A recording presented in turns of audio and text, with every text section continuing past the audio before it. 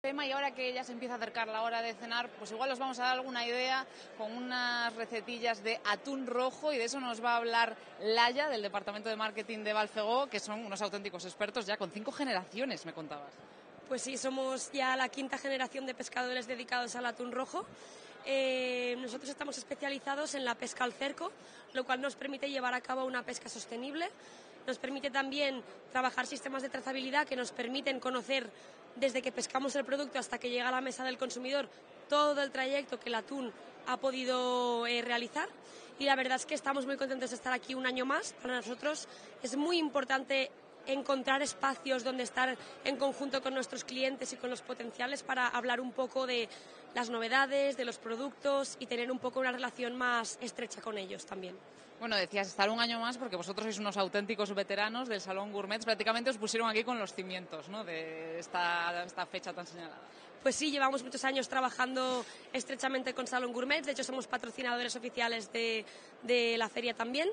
Y es lo que os digo, al final eh, colaboramos mucho con este tipo de ferias porque consideramos que es un lugar perfecto para tener en un ambiente más distendido una buena relación, hablar, ser más cercanos con nuestros clientes y al final también encontrar un punto en el que ellos nos puedan contar y nosotros también podamos contarles a ellos novedades. Eh, efectivamente, novedades, porque son muchos años, pero siempre innovando, ¿no? Siempre buscando algo nuevo. ¿Y este año tenéis alguna novedad?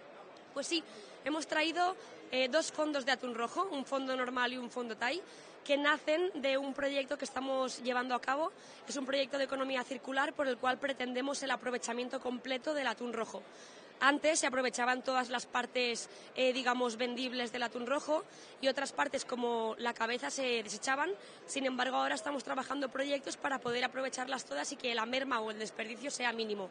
El primer producto que lanzamos son estos fondos que ya están a la venta y que la verdad están siendo todo un éxito. O sea que podemos asegurar que para Balfegó, además de la innovación, la calidad, es muy importante también los valores que hay detrás de cómo eh, se produce todo el proceso, ¿no? de principio a fin. Sí, para nosotros es muy importante. No queremos ser una empresa que vende atún rojo solamente, sino que queremos acompañar a nuestros clientes con I+D, con investigación, con conocimiento. Al final lo más importante es conocer nosotros primero el producto para poder transmitir ese conocimiento también a todos nuestros clientes.